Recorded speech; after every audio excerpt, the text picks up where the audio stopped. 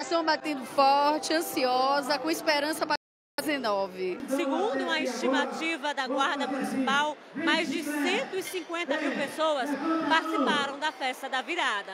Vamos desejar dias melhores para Aracaju, para Sergipe e para o Brasil. E o povo se apertou na frente dos dois palcos para curtir os shows. Uma das atrações foi o cantor Luanzinho Moraes. E 2019 foi recebido em Aracaju em grande estilo.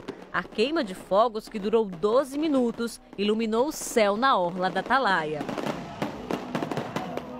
Foi um espetáculo bem bonito, bastante fogos, a gente pôde se reunir com os amigos, com a família e deu para curtir bastante. Já era ano novo quando a banda Chiclete com Banana subiu ao palco.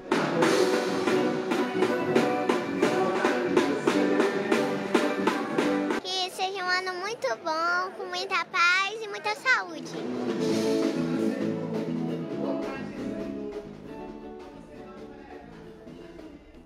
Vamos para o intervalo e na volta você vai ver a segunda e última parte da retrospectiva 2018. E ainda, uma pessoa morre e outras ficam feridas em acidente em Nossa Senhora do Socorro, na Grande Aracaju. Agora 7 horas e 11 minutos.